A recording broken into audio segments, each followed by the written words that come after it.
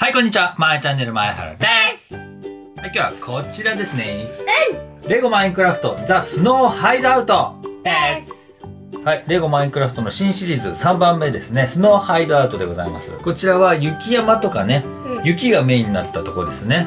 あとですね、スノーゴーレムなんかもいるみたいだね。うん。うんはい、今回のセットに入っているのはこのスティーブとクリーパーとスノーゴーレムだね、スティーブはスコップ持ってますね、では早速作っていきましょうはい。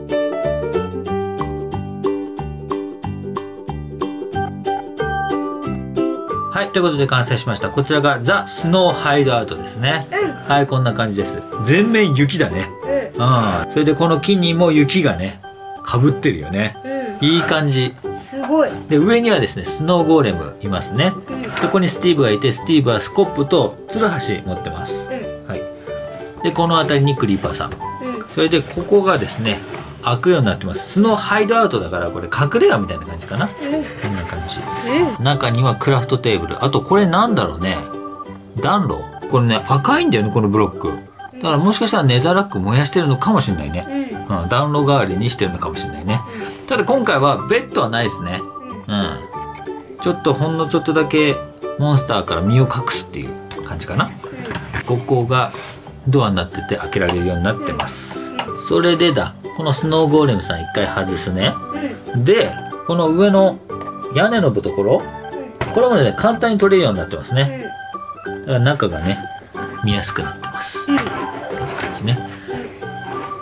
これいいよね。このね氷を窓にしてるところがすごいいいアイディア。そうだよね。うん、それでえこの家の目の前にですねちょっと池があってその池がね凍ってるね、はい、ここに石炭がありますね、うん。なぜか。あななぜかここにあるね。それでここにバケツがあって水が入ってますね。こんな感じです。あと、えーこのギミックがねあのこの前の砂漠のやつと一緒でこれポンってやるとブロックが跳ねるようになってますね、うん。今回は TNT 爆弾はないんだけどまあこのクリーパーさんが爆発したというふうに見立ててるんじゃないかなと思いますね。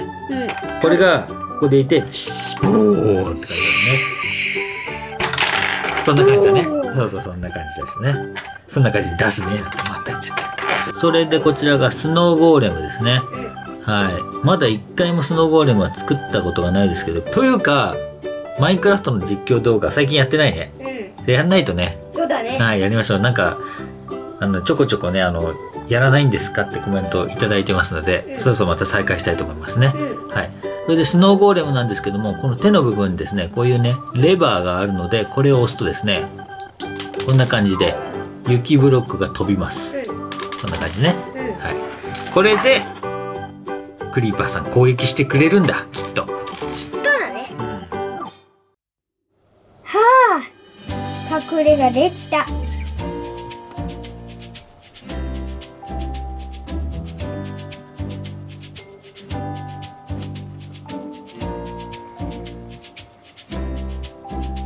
スノーゴールがいるから安心だ。わあ、クリーパー。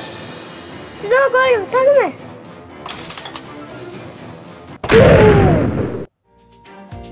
はい、ということで今回は、レゴマインクラフトザ・スノーハイドアウトでした。